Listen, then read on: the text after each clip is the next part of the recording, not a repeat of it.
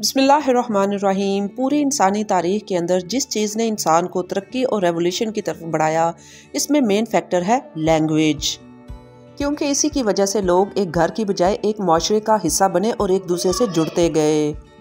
और दुनिया भर के इंसान एक साथ मिलकर तरक्की की मंजिलें तय करते गए।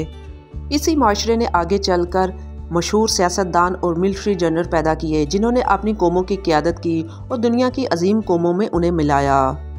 इसके साथ साथ इस तरक्की में आर्ट ने भी इतना ही हिस्सा डाला। कई जीनियस और जहीन दिमागों ने मिलकर अपनी शायरी, मौसीकी और फिलासफिकल सोच से लोगों को झंझोड़ दिया और इनकी सोच को बदल कर रख दिया। और इस तरक्की की राह में पेंटर्स ने भी अपना किरदार अदा किया और इन्हीं पेंटर्स ने यूरोप को कदीम जहालत से निकाला। रोशन दिमाग और महजब माशरा पैदा होना शुरू हो गया। एक माशरे में आर्टिस्ट की क्या अहमियत होती है? बर सग़ीर में इसकी अहम मिसाल डॉक्टर मोहम्मद इलामा इकबाल हैं, जिन्होंने अपनी शायरी से सोई हुई कौम को जगाया। ये थे तो एक पोएट लेकिन इन्होंने मुल्क की आज़ादी में वही किरदार अदा किया, जो एक सिपा सलार अपनी फ़ौज के साथ अदा करता है। इसलिए इलामा इकबाल हमारे लिए एक सेलेब्रिटी हैं, जिनकी शायरी लोग सुनते, पढ़ते और अमल भी करते हैं। लेकिन सोशल मीडिया जो अब हर घर में एक आम किरदार हो गया है, इसने जो सेलेब्रिटीज़ पैदा करना शुरू कर दी हैं, वो कुछ इस तरह की हैं। मुलाहजा कीजिए। जो स्पेशली आपको टिकटॉक पर मिलते हैं, कोई अपनी वाक की वजह से मिलियनर फॉलोअर्स हासिल कर लेता है, और कोई जानवर की तरह ज़ुबान निकाल कर रोड पर चलने को टैलेंट कहता है। जो गानों पर होठों को हिलाकर लिपसिंग कर कर और जिसम को हिलाकर अपने जिसम की नुमाइश करने पर खुद को सेलेब्रिटी कहते हैं, जो दुनिया के सामने लाइक्स और फॉलोअर्स के लिए किसी हद तक और कहीं भी जाने के लिए तैयार हो जाते हैं। और कुछ वीडियोस में तो माएँ अपनी बेटियों की वीडियोस बनाकर अपलोड कर रही हैं कि उनकी बेटियों को लाइक्स और फॉलोअर्स मिलें। लेकिन मैं उन लोगों के बारे में बात बिल्कुल भी नहीं कर रही जो अभी भी टिकटॉक पर काफ़ी क्रिएटिव और मीनिंगफुल कंटेंट बना रहे हैं। यहाँ पर बात हो रही है इनकी, जिनमें किसी किस्म का भी कोई टैलेंट नहीं है और जो मेजोरिटी में है। किसी किस्म का टैलेंट ना होने की वजह से भी ये सेलेब्रिटी बन चुके हैं और इनको लोग पसंद भी करते हैं। क्रिएटिव सोच में 90 परसेंट ये सेलेब्रिटीज़ फेल हो जाती हैं और इनकी वजह से जो टैलेंट रखने वाले लोग हैं, जो रियल में सेलेब्रिटीज़ हैं, दुनिया के सामने खुलकर आ ही नहीं सकते। लेकिन फिर भी हम देखते हैं कि इस ऐप को इस्तेमाल करने वाले दिन ब दिन बढ़ रहे हैं और ये फ़ेमस भी हो रहे हैं जो ये टिकटॉक्स बनाते हैं। लोगों को इस बात का अंदाज़ा ही नहीं है कि टिकटॉक को इनकी ह्यूमन साइकोलॉजी को सामने रखकर बनाया गया है। इसको बनाने वाले आपकी नफ्सियात को समझकर आपके दिमाग के साथ खेलते हैं।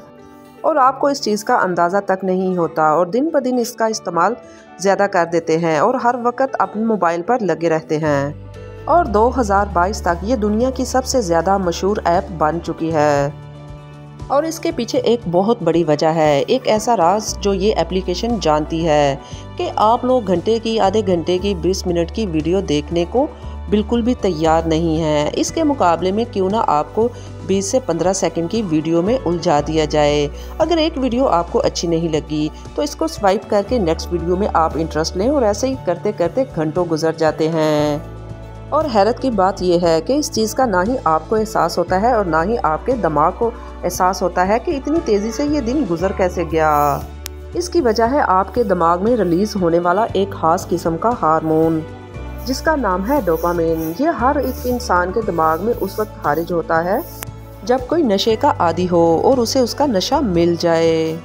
मिसाल के तौर पर, अपना पसंदीदा जंक फ़ूड सामने आ जाने पर जब आप इसे इंजॉय करते हैं तो आपको बहुत खुशी महसूस होती है, जो कि दिमाग जो कि इस हार्मोन के रिलीज़ होने से ही मिलती है और आप दोबारा इसको रिलीज़ करने के लिए मज़ा लेने के लिए बार बार खाते हैं। और हर दफ़ा फास्ट फ़ूड मिलने पर आपका दिमाग इस हार्मोन को रिलीज़ करता है और आपको खुशी और सुकून महसूस होता है।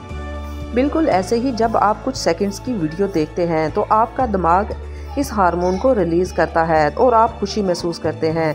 इसलिए आप बार बार इस एप्लीकेशन को ओपन करते हैं और खुश होते हैं। इस तरह आपका दिमाग इस हार्मोन को बढ़ा रहा है, नशे की तरह इसका आदि हो गया है। आपके दिमाग में ये हार्मोन खुशी की खबर के लिए मौजूद होता है। जब आप नेचुरली तौर पर खुश होते हैं तो ये ये हार्मोन खारिज करता है। लेकिन अगर मसनू तरीके से इसको खुश किया जाए मतलब ये टिकटॉक पे टाइम वेस्ट करके दिमाग में ये हारमोन्स रिलीज़ हो तो इसकी आदत दिन ब दिन बढ़ती जाती है और इसकी बुरी लत लग जाती है। हम बचपन से लेकर आज तक जो भी देखते हैं, चाहे वो फ़िल्म हो या ड्रामा की सूरत में, या रियल लाइफ का कोई करेक्टर हो, हमारी कोई ना कोई उससे इंस्परेशन ज़रूर होती है। ख़ास तौर पर जब कोई ओरिजिनल करेक्टर हो। मिसाल के तौर पर किसी लड़के का फेवरेट सेलिब्रिटी वो हीरो है जो किसी फ़िल्म में विलन का रोल अदा कर रहा है। तो वो लड़का कोशिश करता है कि वो बिल्कुल इसी की तरह बने और इसी की तरह कुछ करके दिखाए। यहाँ पे टिकटॉक अपना प्लेटफॉर्म मुहैया करता है। उसकी आवाज़ भी देता है और उसके डायलॉग भी देता है और इसको परफॉर्म करके आप व्यूज़ फॉलोअर्स और लाइक्स भी ले लेते हैं। लेकिन यहाँ पर देखा जाए तो उस लड़के का टैलेंट जो है यहाँ पे तबाह हो जाता है। उसको ओरिजिनल कुछ करने की बजाय यहाँ पे कॉपी पे लगा दिया जाता है। ओरिजिनलिटी के नाम पर यहाँ पर आपका अपना कुछ भी नहीं है। आपको हर चीज़ टिकटॉक खुद मुहैया करता है, जिसके ऊपर आपने वीडियोस बनानी है लैंग्वेज म्यूज़िक हर चीज़, सारा स्क्रिप्ट ये इन्हीं की तरफ़ से होता है। एक दूसरे पर कीचड़ उछालना और अहलाकियात का जनाजा निकालना और यहाँ पर झूठी खबरें भिलाना छोटी सी मामूली सी बात है। और ये सब टिकटॉकर में कॉमन है। व्यूअर्स इस पूरी कहानी का मतलब ये है कि आपको क्रिएटिविटी की तरफ़ दोबारा लाया जाए। देखिए, हमेशा मुश्किल मसलों से और सवालात से ही सच सामने आता है। लेकिन हमेशा याद रखें कि क्रिएटिव लोग हमेशा ट्रेंड से हटकर अपनी पहचान बनाते हैं। इनकी अपनी एक अलग पहचान है। दुनिया को ना दूसरा कायदे अजम चाहिए, ना इलामा इकबाल, ना आइंस्टाइन और ना ही न्यूटन। बल्कि अपनी खुद की तहलीकी सोच रखने वाला एक दिमाग चाहिए, जो दुनिया से जाने के बाद भी अपने असरात छोड़ जाए। और जब तक दुनिया 20-30 सेकंड की इस वीडियो में उलझी रहेगी तो तब तक ऐसे दिमाग इस प्लेटफॉर्म पर डेड ही रहेंगे। बाकी आप इस बारे में क्या सोचते हैं और आपकी क्या राय है कमेंट बॉक्स में ज़रूर बताइएगा। आप एक क्रिएटिव इंसान बनना चाहते हैं या एक फ़ेमस टिकटॉकर मिलते हैं अपनी नेक्स्ट किसी इन्फॉर्मेटिव वीडियो में। इससे पहले अगर आप चैनल पे न्यू हैं तो चैनल को सब्सक्राइब करें और वीडियो को लाइक कमेंट ज़रूर करें।